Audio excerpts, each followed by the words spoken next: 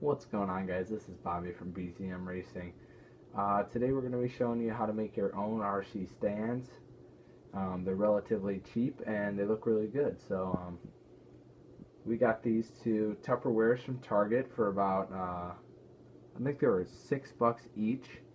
Um, as you can see here, this one, um, these are the foams that are supposed to go in your B5M where your battery is but I didn't end up using them when I built my kit, so I just ended up throwing them on there, and that helps to give a little grip to your chassis.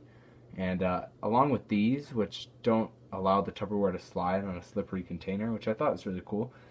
So uh, they both um, are tall enough to where your tires clear. So you're able to do your, like your testing, like if you wanted to check and make sure your motor was working and everything was good to go before your heat or whatever. Um, yeah, that's really I really like it. Um, I've some decals here. I've got the Hobby Wing, J Concepts, Pro Line, aka, and the finisher. Um, as you can see here, um, Dom's actually fabricated up a little magnet action. So what he did was he used an old chip clip and uh, he carved the um, magnet right out of it and then scored the magnet down the center and broke it in half.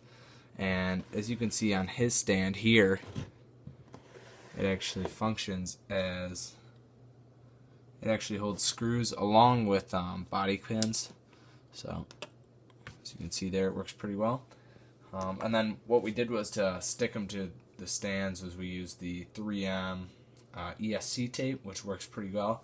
Um, and then on this side I've got the Big J Concepts logo uh, world proven innovation and design rips another J Concepts logo, flip outs, finisher, and Hobbywing. Um, that's some of the stuff I run in my car, so I just threw it on there. Um, yeah, on Dom's, he's pretty much the same setup. He has two uh, foam um, battery spacers.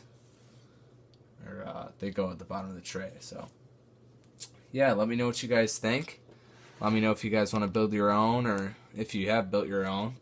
Um, I would highly recommend doing this. It saves you a lot of money. Uh, we've had bad luck with the uh, Duratrax ones in the past. They've broken at the base. And uh, yeah, thanks for watching, guys. Please comment, like, and subscribe. Share it with your friends. And I really hope a lot of you guys do this. It saves a lot of money, helps go fast on a budget. Take care, guys. Bye.